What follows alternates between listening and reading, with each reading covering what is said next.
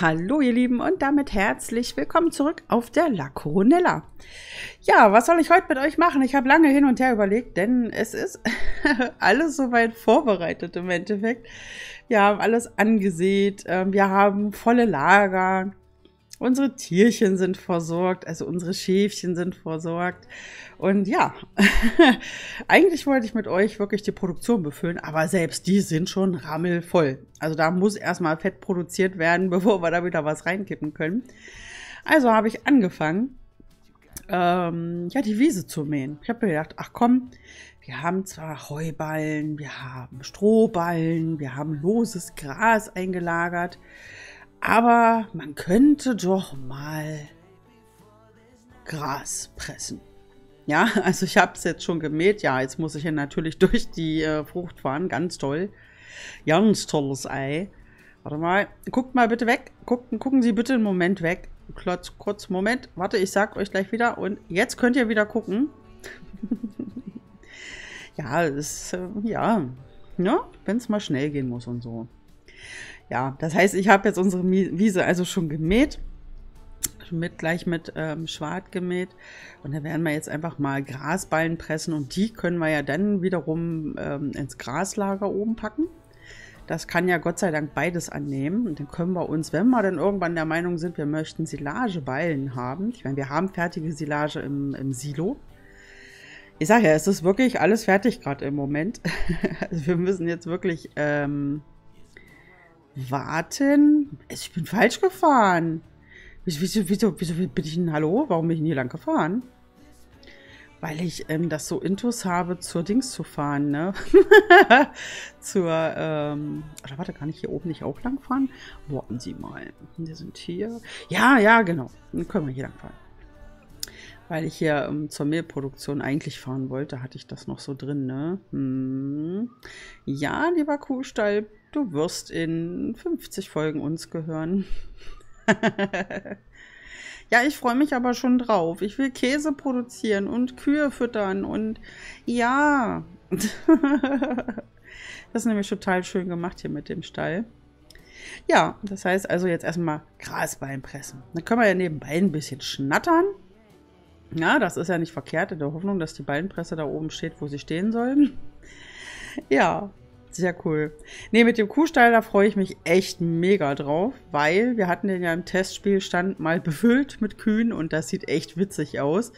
Wobei es ein bisschen interessant ist, wenn ja gewisse Dinge gemacht werden, aber das gucken wir uns dann an, wenn es soweit ist. Also ich hoffe, es ist bald soweit. Sehr cool. Ja, ne, man ist ja immer so bestrebt, alles so ins Laufen zu kriegen. Und dann ist ja, jetzt hat man noch so einen Punkt, man hat noch nicht alles auf der Map. Und irgendwann hat man so, ähm, ja, sage ich mal, seinen Tagesablauf hier durch. Und ja, da muss man warten, ne? Dann spult man unter Umständen vor und macht hier und macht da. Und ja, es gibt so Phasen, da hat man eigentlich nicht wirklich viel zu tun. Aber ist ja normal. Ne? In einem frischen, relativ jungen Spielstand ist das ja normal. Ja. Und wenn man dann irgendwann alles hat, hoch, bin ich ein bisschen nah ran hier, ne? Dann sieht die Welt anders aus. Dann sagt man sich manchmal, ey, war das geil, als ich noch nicht so viel zu tun hatte. Aber ja, so ist es ja eben. Aber das ist ja genau das, was wir erreichen wollen. Dass hier alles läuft, alles ja mehr oder weniger voll ist, dass man dann hier wieder auffüllt, da wieder was auffüllt und alles tut die Paletti ist und so weiter und so weiter. Ach so, ja, der macht das ja so. Ähm, ja, sehr cool, oder? Ich finde also ich freue mich da schon drauf. Hatte ich ja schon sehr, sehr, sehr, sehr lange nicht mehr, ne? Dass wir mal so einen Spielstand wirklich zu so einem Punkt gebracht haben. Und wir sind aber eigentlich auf einem guten Weg. Also können uns jetzt, glaube ich, nicht beklagen. Was mich mal interessieren würde, ich weiß ja, dass der ein oder andere von euch ähm, die Map hier auch spielt, wie ihr spielt. Ob ihr sag mal, ähnlich angefangen habt, wie wir das jetzt hier machen. Erstmal Früchte, Feldfrüchte verkaufen, verkaufen, verkaufen, um dann Geld zu haben.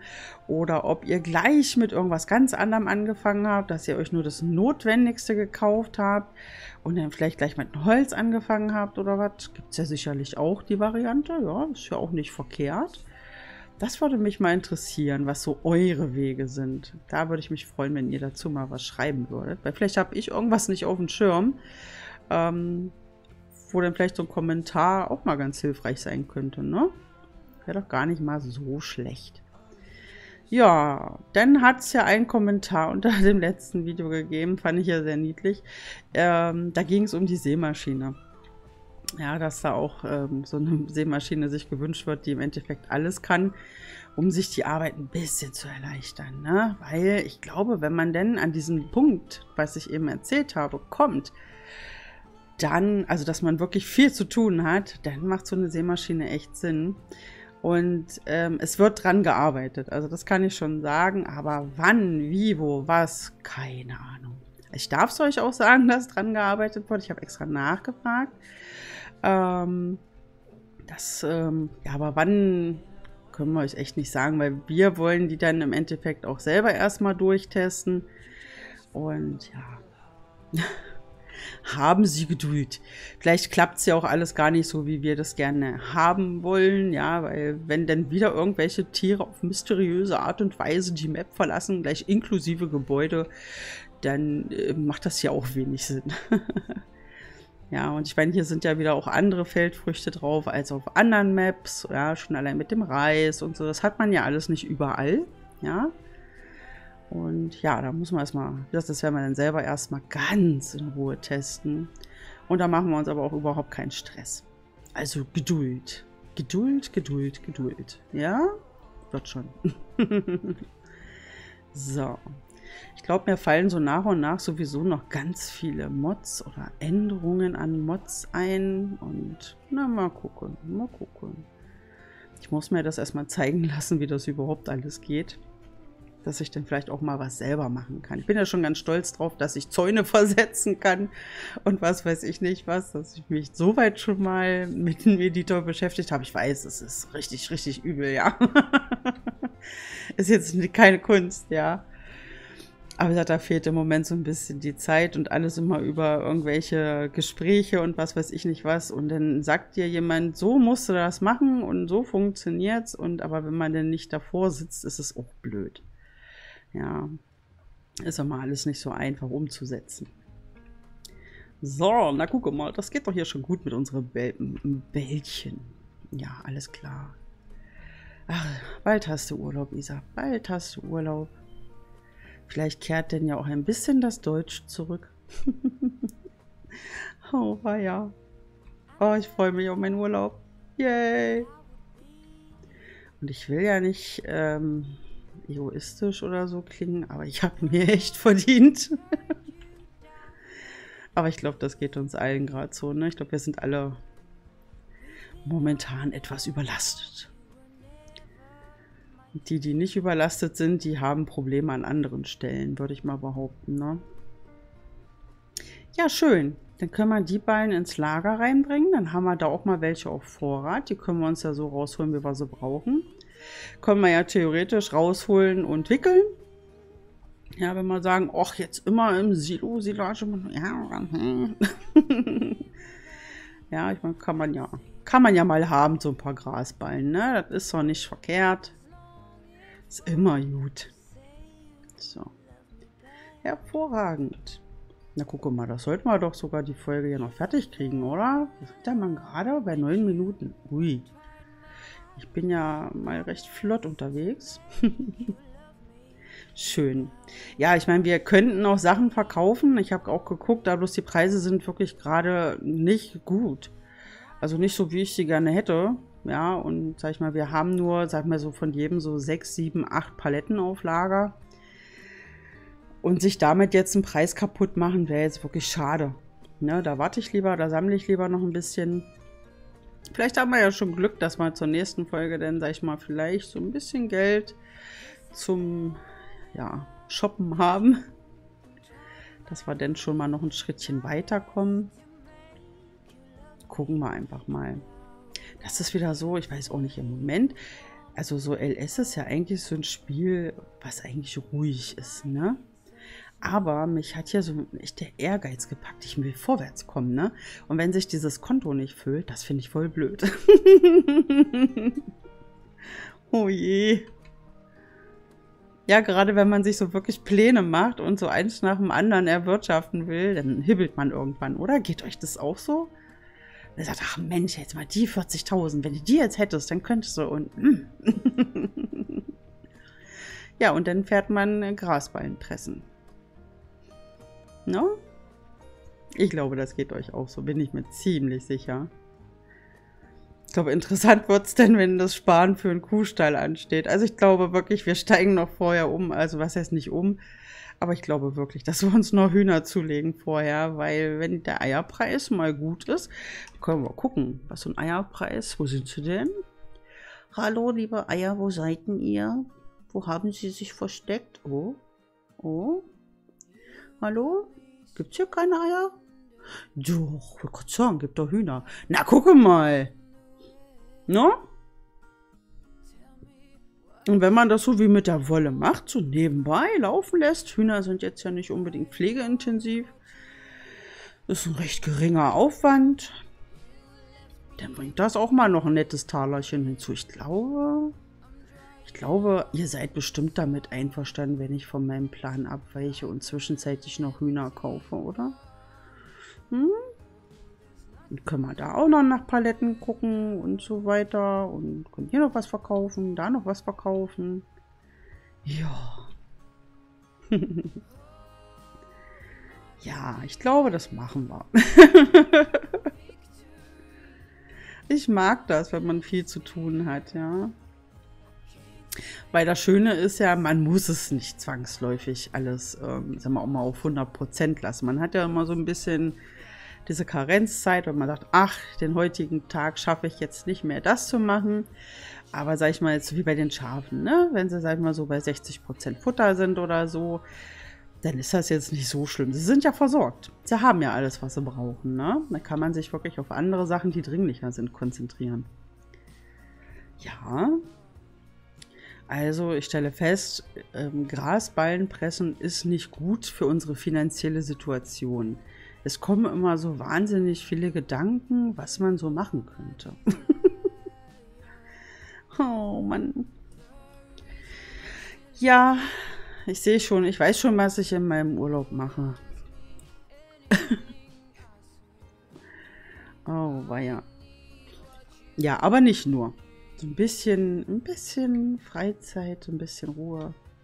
Im Garten rumwerkeln, da freue ich mich drauf wenn meine Tomaten noch zwei Wochen hier auf dem Balkon verbringen müssen und diese Eisheiligen nicht endlich mal Ruhe geben, dann pflanze ich meine Tomaten, glaube ich, mit Früchten in den Garten. Die haben Blüten. Also es muss jetzt rausgehen. ist eigentlich total traurig, ja. So, warte mal. Wir, wir, wir seppen mal durch, denn ich glaube... Oh, bei den Hängern... Nee, das ist der hier. Äh, der hier ist es, genau. Dem fahren wir jetzt los. Und dann werden Bällekünste äh, verladen. Gekauft. Ich kaufe doch keine Ballen, Mensch. Ich habe selber ganz viele.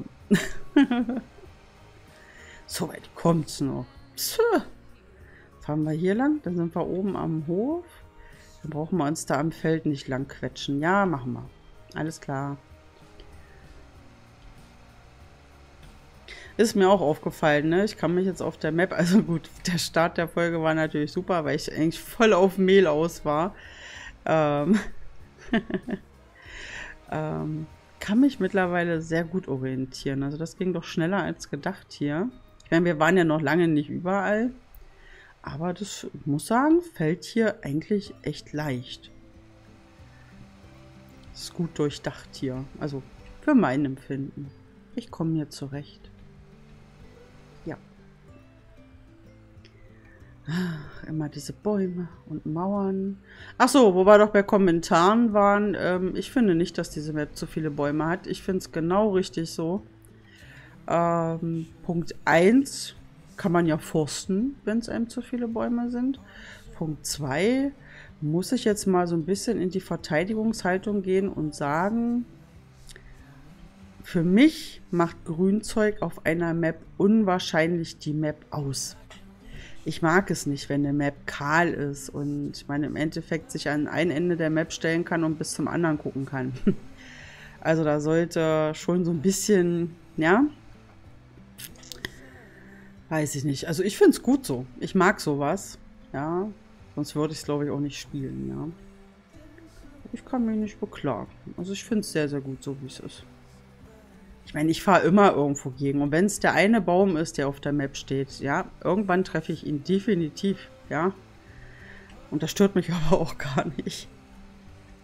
Mal, das macht doch den Charme aus. So ist es ja auch in der Realität. Also, wenn ich bei uns hier so rausgehe, gut, ich meine, im Harz ist es natürlich so, dass man ähm, sowieso viel Grün und so hat.